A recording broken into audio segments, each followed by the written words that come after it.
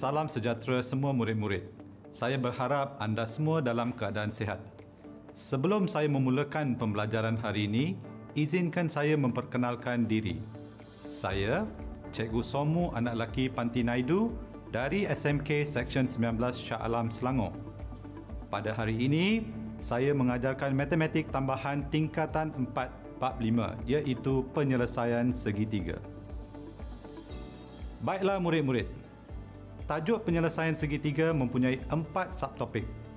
Pertama ialah petua sinus, kedua ialah petua kosinus, ketiga ialah luas segitiga dan keempat ialah aplikasi petua sinus, petua kosinus dan luas segitiga.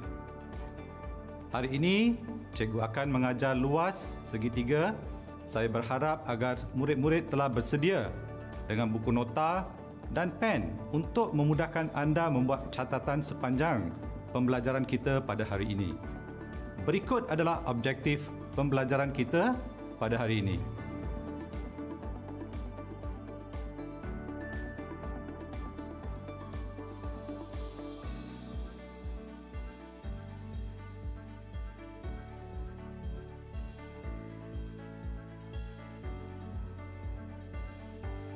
Baiklah murid-murid, Adakah anda sudah bersedia untuk memulakan pembelajaran kita? Mari kita lihat paparan skrin.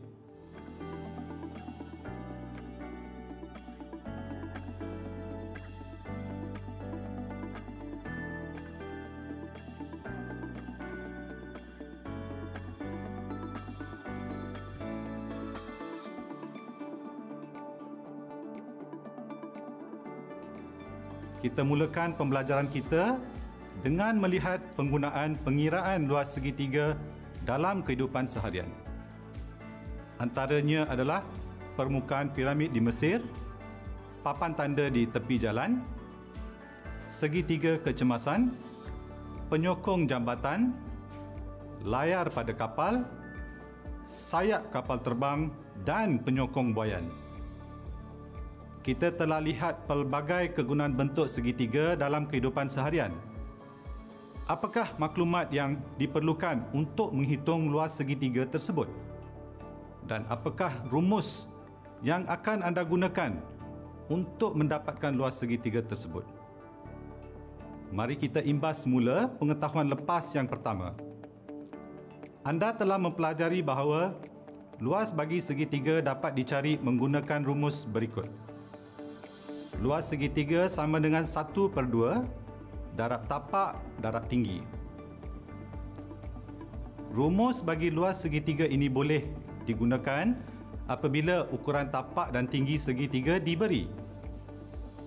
Pengetahuan lepas kedua. Murid-murid juga telah mempelajari topik trigonometri. Sain suatu sudut untuk segitiga bersudut tegak adalah sama dengan panjang sisi bertentangan bahagi dengan hipotenus. Maka kita akan dapat tinggi H adalah sama dengan A sin B ataupun B sin A. Bagaimanakah cara mencari luas segitiga tanpa mengetahui ukuran tapak dan tinggi? Dengan menggunakan kedua-dua pengetahuan lepas ini, kita tahu bahawa jika sesebuah segitiga diberikan panjang dua sisi dan satu sudut kandung antara kedua-dua sisi tersebut, maka luas segitiga boleh dihitung dengan menggunakan rumus berikut. A, B dan C ialah panjang setiap sisi. A, B dan C ialah sudut kandung. Mari kita lihat contoh pertama. Cari luas segitiga ABC. Panjang sisi AB AC dan sudut kandung A juga diberi. Dengan menggunakan rumus luas segitiga iaitu 1 per 2 darab A darab B darab sin C dan menganggap nilai A ialah 8 cm, nilai B ialah 9 cm dan nilai C ialah 125 darjah. Maka luas segitiga ABC adalah 1 per 2 darab 8 darab 9 darab sin 125 darjah. Murid-murid boleh menggunakan kalkulator saintifik dan jawapan yang anda akan dapat ialah 29.9 cm persegi. Saya harap anda semua faham contoh pertama ini. Mari kita lihat contoh kedua. Diberi luas segitiga X, Y, Z ialah 80.83 cm persegi. Panjang sisi YZ ialah 18 cm dan sudut kandung Y ialah 30 darjah. Cari panjang XY. Langkah pertama, tulis rumus segitiga. Kemudian, gantikan nilai luas X, Y, Z, panjang sisi YZ dan sudut Y ke dalam rumus luas segitiga tersebut. Gunakan kalkulator. Darabkan 80.83 dengan 2 dan hasil darab tersebut dibahagikan dengan 18 darab sin 30 darjah. Cikgu harap murid-murid dapat mengingat proses pendarapan seperti yang diterangkan. Maka, jawapan bagi panjang XY ialah 17.96 cm. Bagaimana murid-murid? Adakah anda jelas dengan contoh kita dua ini? Kita telah menyelesaikan dua contoh sebentar tadi. Jika anda masih kurang jelas, mari kita lihat contoh ketiga. Diberi luas segitiga ABC ialah 68.83 cm persegi. Panjang sisi AB ialah 20 cm dan panjang BC ialah 12 cm. Cari sudut ABC. Contoh ketiga, memerlukan kita mencari sudut kandung B. Mari kita lihat cara menyelesaikan soalan ini. Ingat, kita mesti mulakan dengan penggunaan rumus segitiga. Gantikan nilai luas ABC. Panjang sisi AB dan panjang sisi BC ke dalam rumus luas segitiga di bawah. Dengan menggunakan kalkulator, darabkan 68.83 dengan 2 dan hasil darab tersebut dibahagikan dengan 20 darab 12. Anda akan dapat nilai sin sudut B sama dengan sifar perpuluhan 5736. Jawapan akhir sudut B boleh diperolehi dengan menekan butang anti-sin sifar perpuluhan 5736. Maka sudut B adalah 35 darjah. Boleh semua? Boleh saya teruskan ke contoh empat? Mari kita lihat pada paparan skrin. Kita telah menggunakan rumus luas segitiga untuk contoh satu hingga tiga. Bagaimana kita akan dapat menentukan luas segitiga? jika sudut kandung tidak diberi. Mari kita lihat contoh keempat. Panjang sisi PQ, PR dan QR telah diberi. Cari luas segitiga PQR. Langkah pertama kita akan menggunakan petua kosinus untuk menentukan sudut kandung. Sebelum menentukan sudut kandung, kita imbas kembali petua kosinus murid-murid boleh mencari sudut kandung P atau Q atau R. Untuk contoh ini, kita akan mencari sudut kandung P. Kita mulakan dengan menulis petua kosinus. Gantikan panjang sisi-sisi yang diberikan dalam rajah ke dalam petua kosinus. Gunakan kalkulator untuk menghitung nilai cos P. Kita akan dapat 0.6950. Seterusnya, kita tentukan sudut P dengan menekan pada kalkulator anti-sin 0.6950. Maka dengan itu, kita akan memperolehi nilai sudut P iaitu 45.97 darjah. Kita telah selesai peringkat pertama. Kini, murid-murid boleh menggunakan rumus luas segitiga. Gantikan panjang sisi PQ, PR dan sudut kandung P ke dalam rumus segitiga. Gunakan kalkulator untuk mengira luas PQR. Kita akan dapat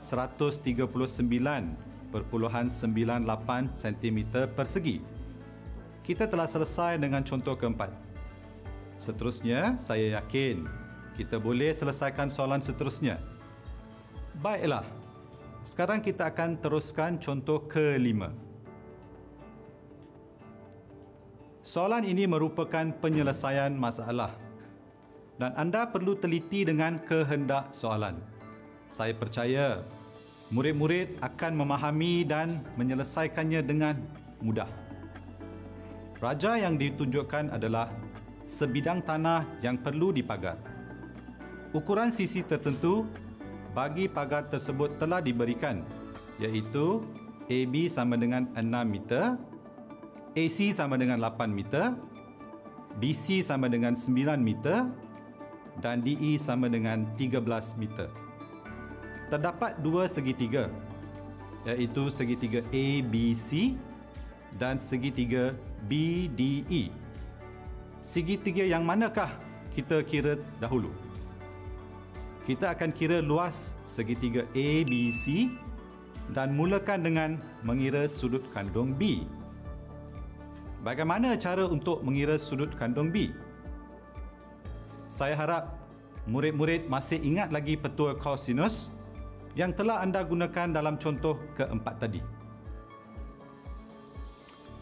Gantikan panjang sisi-sisi yang diberikan dalam rajah ke dalam petua kosinus.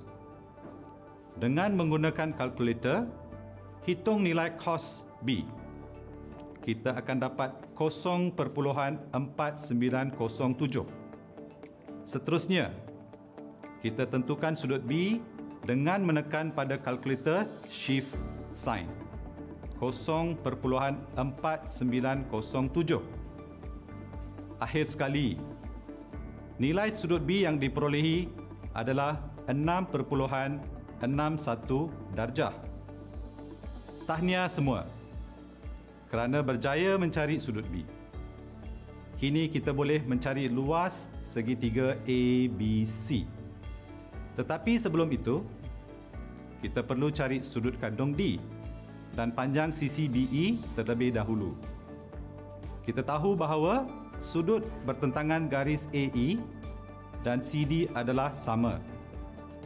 Maka, sudut kandung B untuk segitiga ABC dan BDE adalah sama iaitu 6.61 darjah. Sekarang kita boleh hitung sudut kandung D. Kita tolak 180 darjah dengan 60.61 darjah dan 43 darjah. Maka nilai sudut D adalah 76.39 darjah.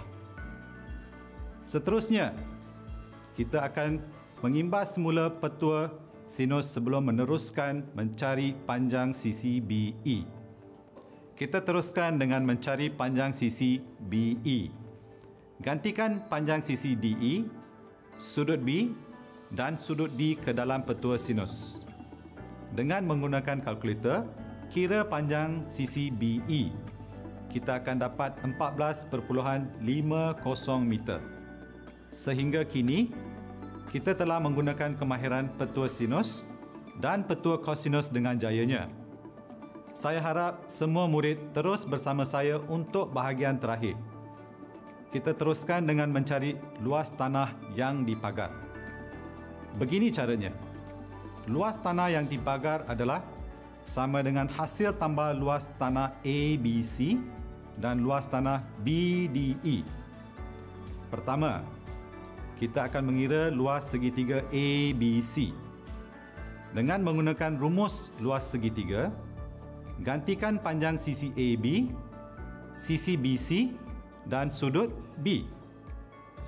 Kita akan dapat 23.53 meter persegi.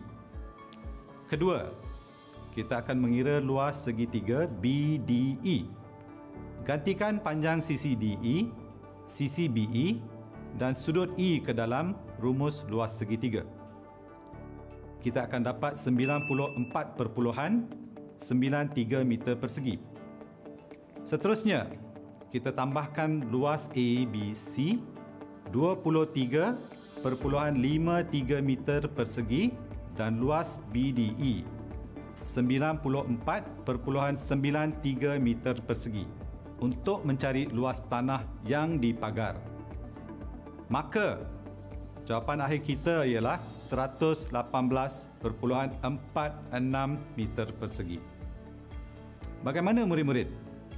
Saya harap anda jelas dan faham dengan lima contoh yang telah kita pelajari tadi. Murid-murid sekalian, sekarang cikgu akan menerangkan kaedah menentukan luas segitiga menggunakan rumus Heron. Mari kita sama-sama lihat paparan ini. Jika kita mempunyai sebuah segitiga ABC dengan panjang sisinya masing-masing ialah A, B dan C, langkah pertama yang perlu kita lakukan sebelum menggunakan petua Heron ialah murid-murid perlu menghitung semi perimeter rajah.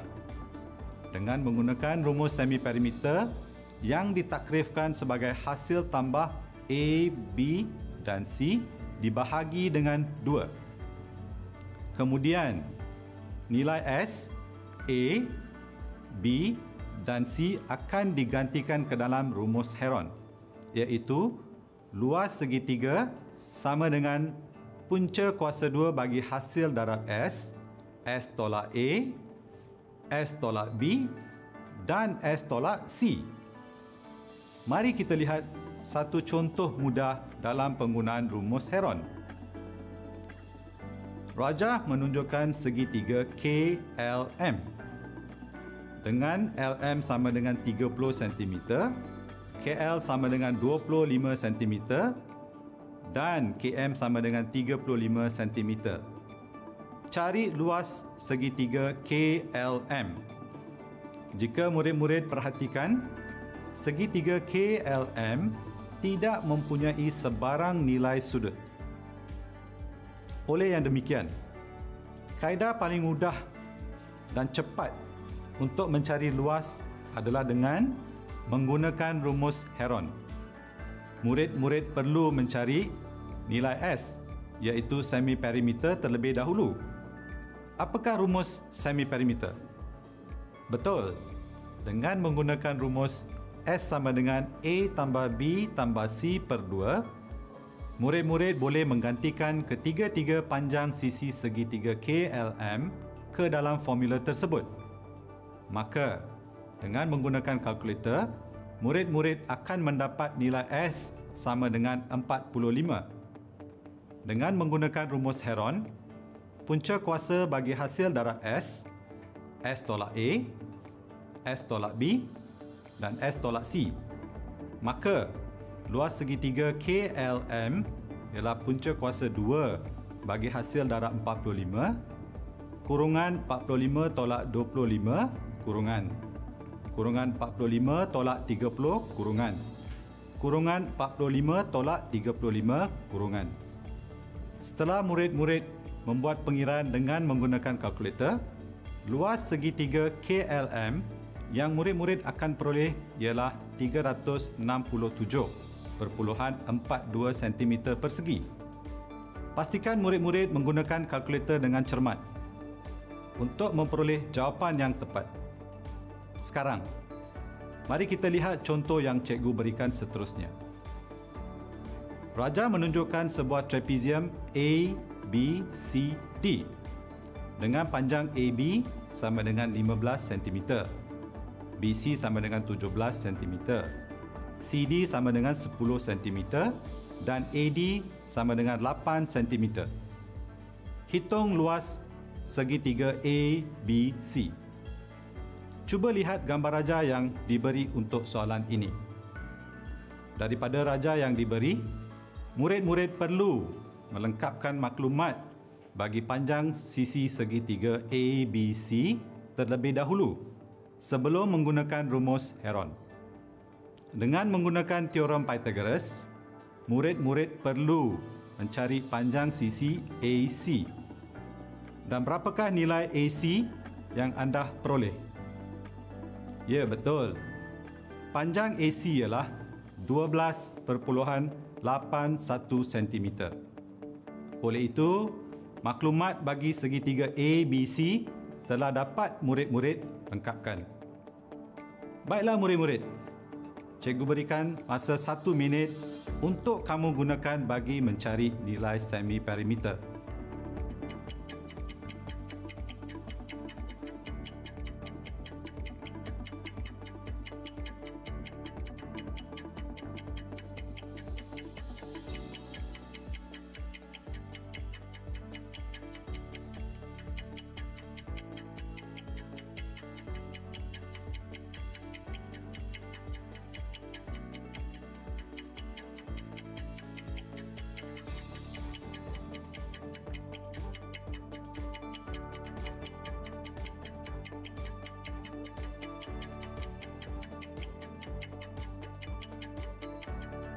Mari sama-sama kita semak nilai semi perimeter yang kamu telah peroleh.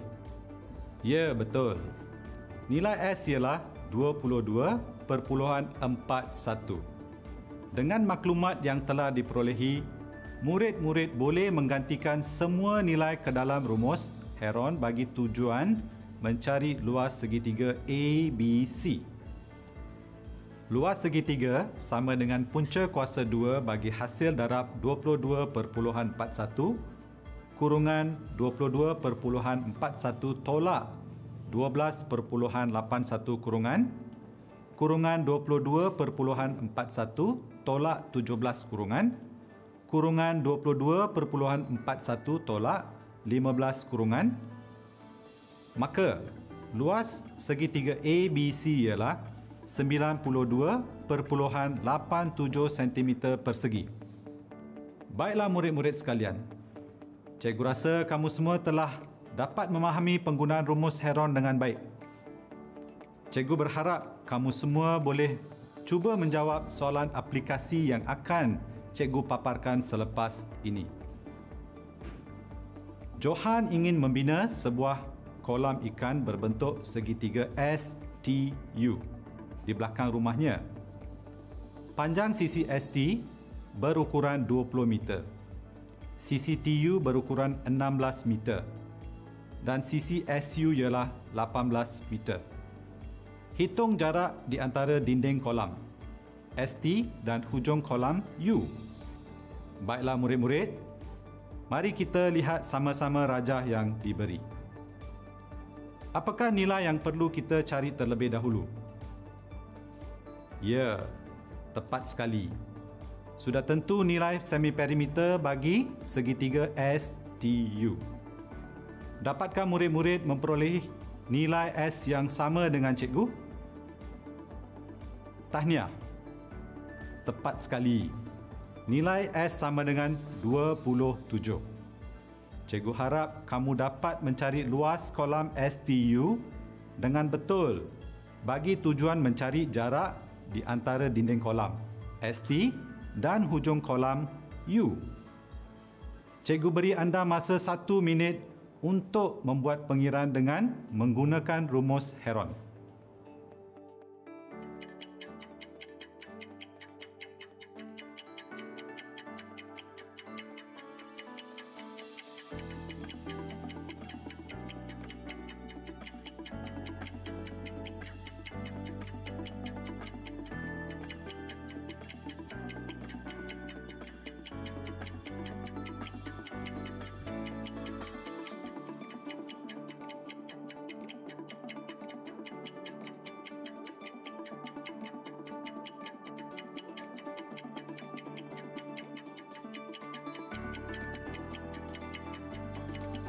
Baiklah, mari kita buat semakan jawapan.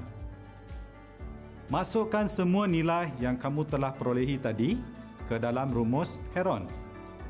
Kita akan mendapat persamaan ini. Luas segitiga STU ialah punca kuasa 2, 27 kurungan 27 tolak 20 kurungan. Kurungan 27 tolak 16 kurungan. Kurungan 27 tolak 18 kurungan. Dengan menggunakan kalkulator anda, hitung dengan teliti luas bagi segitiga STU. Ya, nilai luas kolam ialah 136.79 meter persegi. Baiklah murid-murid, mari kita lihat semula segitiga STU.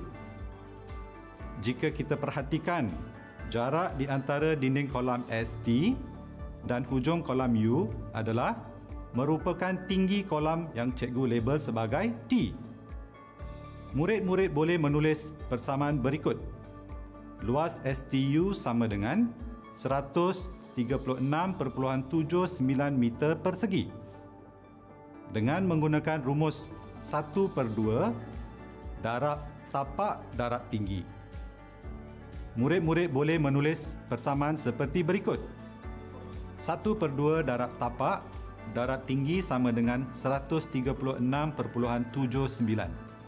Panjang dinding ST 20 meter adalah tapak bagi segitiga STU. Oleh itu, gantikan 20 meter ke dalam rumus luas segitiga seperti yang dipaparkan. 1 per 2 darab 20 darab tinggi sama dengan 136.79. Dengan memanipulasikan persamaan tersebut, kamu akan mendapat persamaan seperti yang dipaparkan. Tinggi sama dengan 136.79 darab 2 bahagi 20.